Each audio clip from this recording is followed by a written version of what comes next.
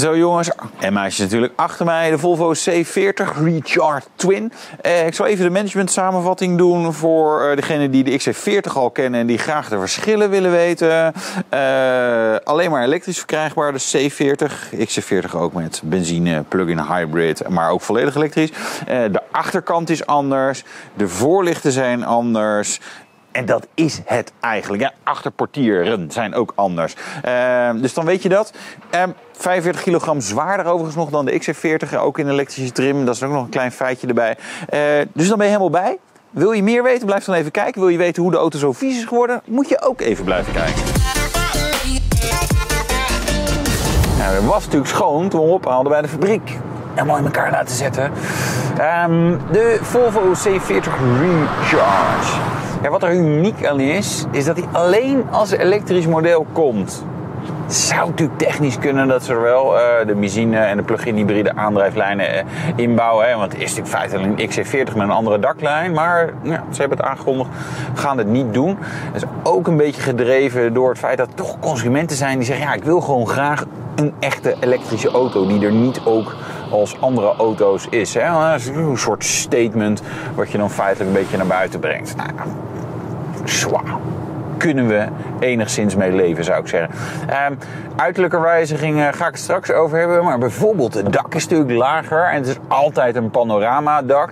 Uh, zonder rollo overigens. Uh, dat, en het kan niet open.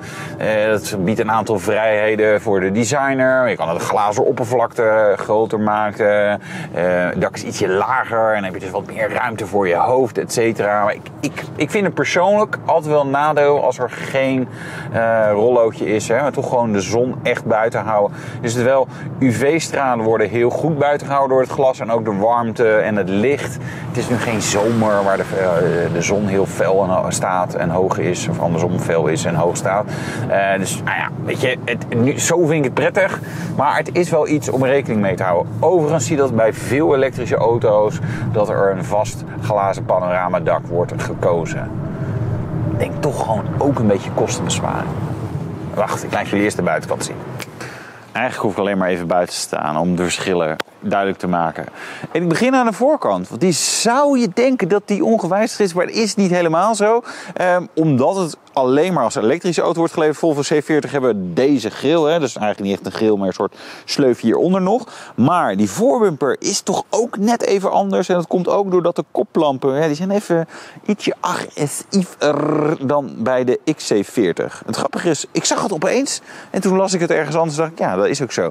En als we dan naar de achterkant gaan, eh, dan vinden we nog een paar verschillen. Kijk, die daklijn loopt natuurlijk mooi af. Dat betekent dat het achterportier sowieso eventjes ietsje anders moet worden. En wat ze daarmee meteen ook hebben gedaan, deze deuk, ja, zo moet je het maar noemen, inkeping, die loopt bij de XC40 verder door en dan sluit hij eigenlijk aan op deze lijn. En hier eindigt hij daar al. Ja, het zijn al die details die het verschil maken.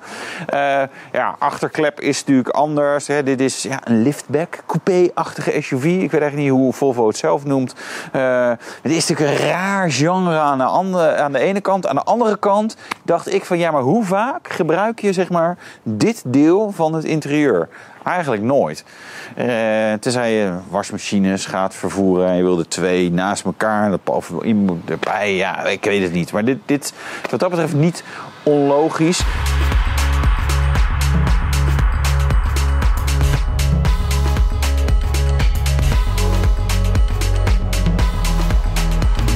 Ja, we hebben die, die spoilerelementen hier. Klein spoilertje op de achterklep. Wat is er nog meer anders? Dit. En dat die doorloopt in de achterklep. Dat is bij de XC40 niet zo. Ja, verder zijn er niet heel veel verschillen.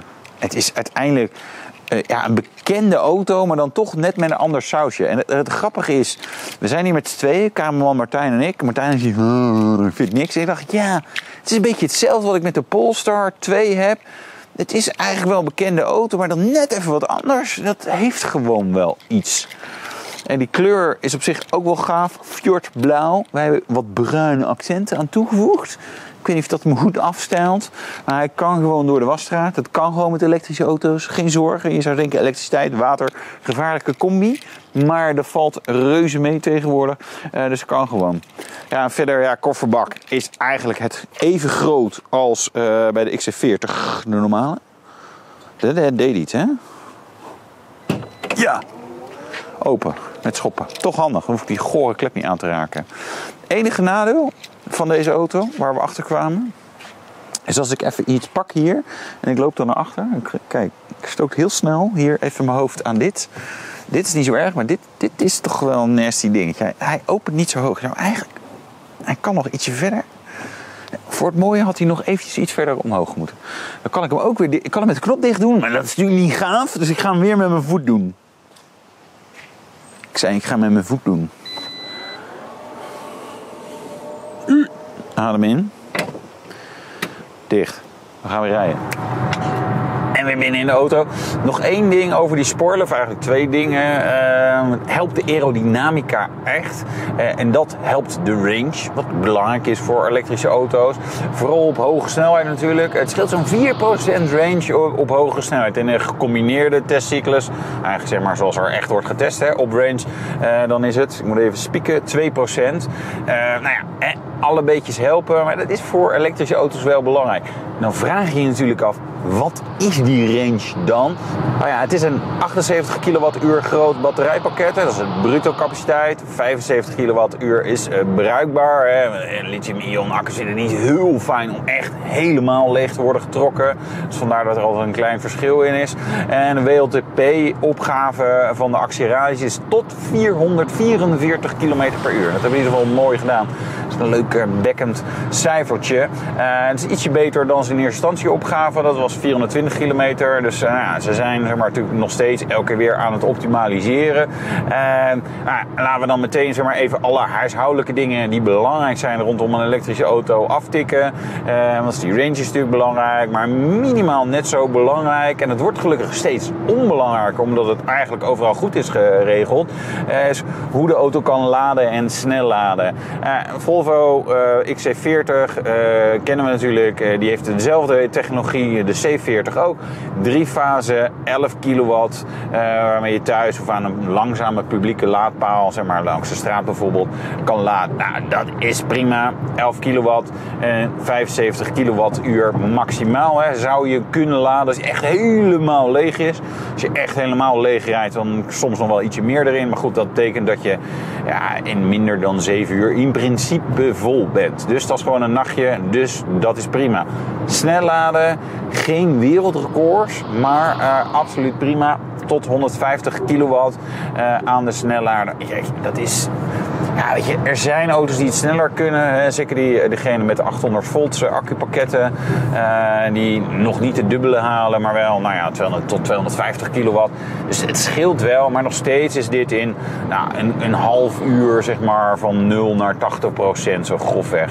Nou, dat is waar we het een beetje mee zullen moeten doen. Het is snel genoeg, denk ik. Dus wat dat betreft, zeg maar, qua elektrische auto, uh, absoluut gewoon competitief. Um, en wat ook absoluut competitief is, de power.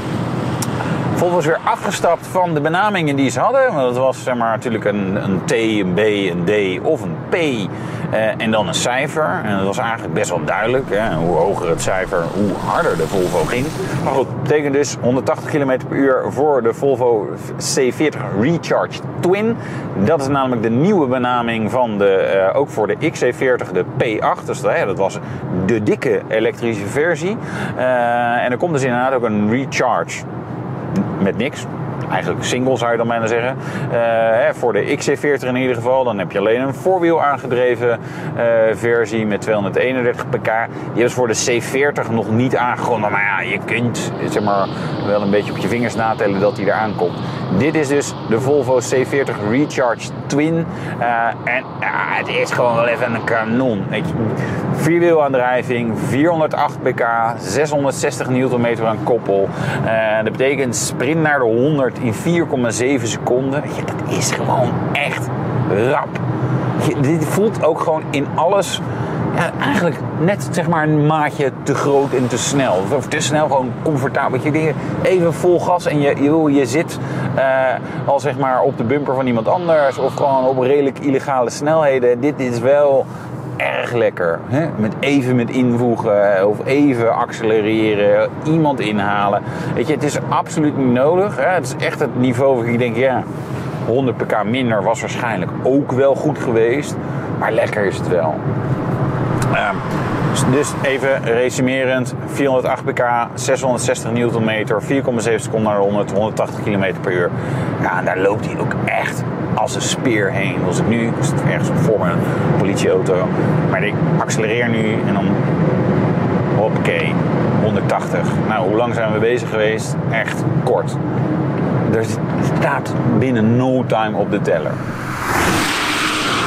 was het ook weer fascinerend om in de fabriek te kijken. Vaker in autofabrieken geweest en ergens zijn ze allemaal een beetje hetzelfde. Zeg maar overdonderend, er gebeurt heel veel. Het is ook echt belachelijk veel onderdelen die kun je in een moderne auto uh, gaan.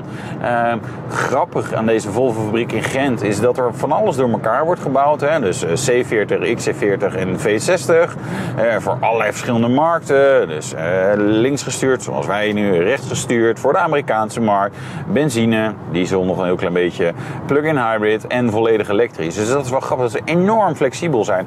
En het lijkt ook redelijk random om te zien welke auto wanneer gebouwd is. Je zou denken, nou weet je wel, doe nu even een badge van witte of rode XC40's uh, benzine en dan straks alle zwarte uh, C40 Recharge. Uh, maar nou, zo werkt dat niet. Dat, is, dat lijkt volstrekt willekeurig. En er zal ongetwijfeld een heel goed systeem achter zitten.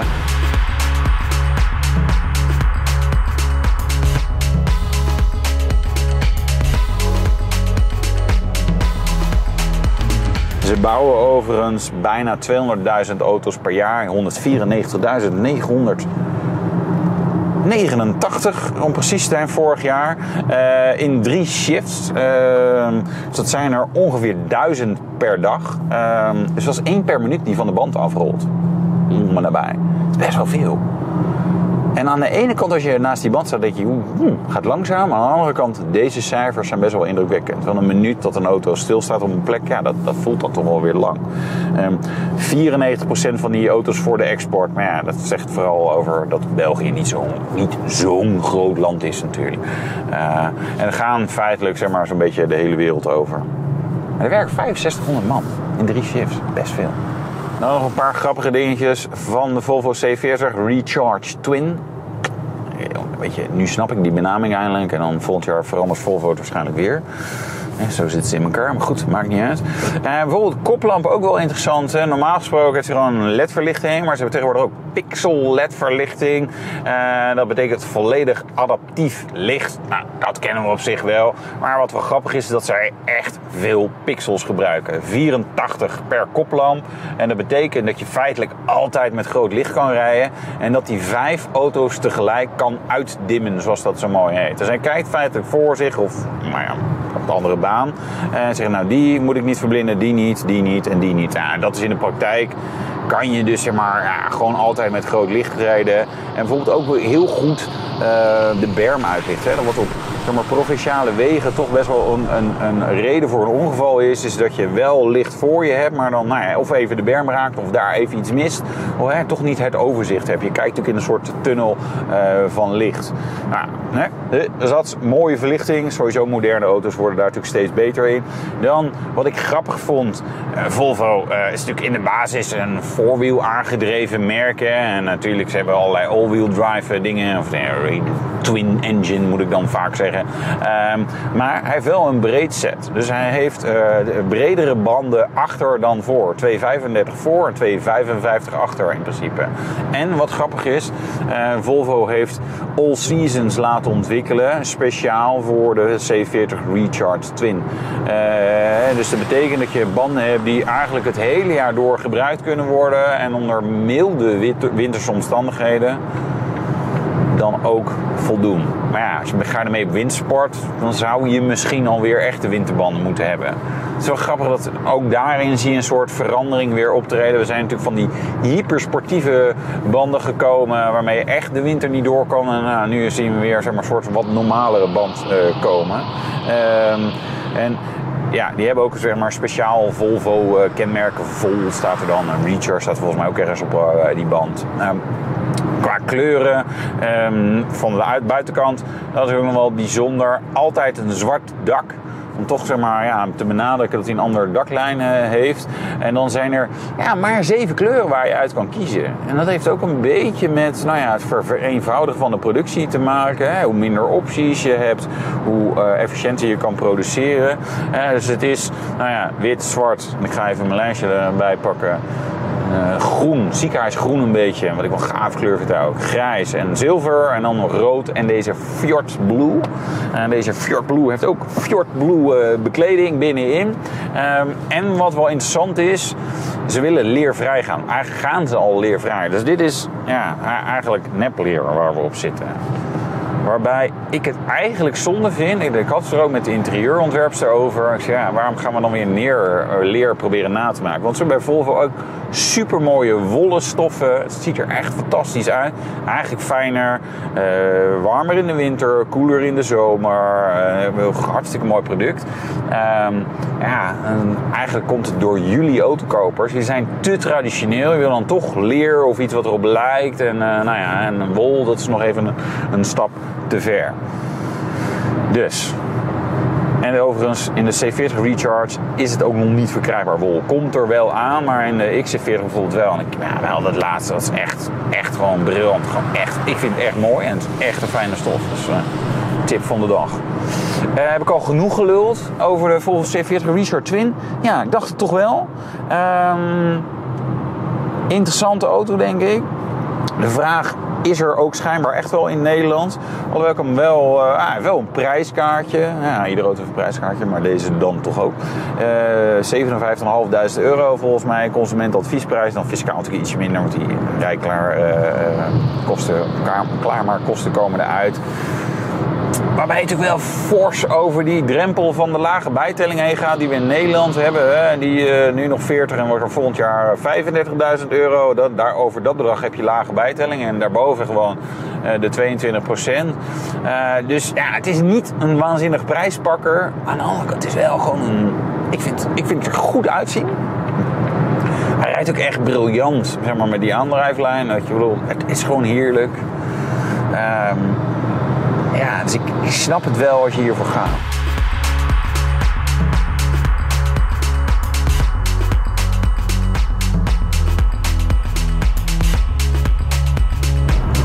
Er is niet heel veel concurrentie zeg maar, van SUV-coupés die nu beschikbaar is, die elektrisch is. We hebben natuurlijk wel van alles, maar uh, niet allemaal elektrisch. Eigenlijk de Audi Q4 e-tron Sportback is de enige die zeg maar de één op één mee matcht. Aan de andere kant, vorig jaar reden, vorige week reden we Kia EV6. Zit eigenlijk ook wel een beetje in dat pakket. Nou ja, Kia is natuurlijk niet premium, maar Volvo wel. Toch? Nog meer gave dingen? Ja, 3D landschap in de sierlijsten. Fjordblauwe bekleding ook hier zo. Ja, het is wel lekker Zweeds. Dat is wel mooi. Dus dat, dat spreekt toch gewoon veel Nederlanders aan. Dus ik begrijp hem wel. Ik heb heel veel gepraat. Hoeveel minuten zitten we al? Kan niet zien. 17. 17 minuten. Jeetje. En dan kan Martijn dan nog wat uitknippen. Dus gaat allerlei onzin dingen. Nee, niks. Dat vind ik niks. Knip ik eruit. Maar dankjewel dat je het hebt volgehouden. Uh, ik hoop dat jullie de, uh, het interessant vonden. Ik hoop niet dat ik wat dingen heb overgeslagen. Ik heb trouwens niet gehad over de Volvo Google, Google Navi. Dat echt briljant is. Hè. Het is gewoon echt, zeg maar, het is niet zeg maar screen mirroring, maar gewoon echt Google in je auto. Dus Google Maps in je auto, uh, goede navi uh, en, nog wat weinig uh, extra functionaliteit, maar er komen er langs wat bij, waaronder bijvoorbeeld de Range Assistant. Als ik nu heb ik estimated range 360 kilometer. En als ik range optimizer doe, Your car will maximize range by limiting climate control functions. Nou, we gaan eens even lekker zweten. Zie niks veranderen is al zo wel meer. Nou, je hebt in ieder geval wat meer inzicht. Het enige nadeel van Google is dat je die. Ja, ik, voor mijn gevoel had ik in vorige navigatiesystemen bijvoorbeeld net wat meer opties, die overigens dan vaak helemaal niet gebruik. Maar nu hebben we wel Google Maps en dat is natuurlijk wel briljant met verkeersinfo en uh, nou ja, dat soort zaken. Dus toch wel een beetje aanbevolen deze auto. En ik vind hem leuk. En Martijn vindt hem helemaal niet leuk om te om te zien. En dat is eigenlijk wel goed. Dat ook een beetje auto's hebben die een beetje polariseren. Dus we bestellen hem ook gewoon meteen in zo'n gave kleur. Dit of die groene of zo'n rode. Dat is gewoon lekker. Bedankt voor het kijken. Tot de volgende keer.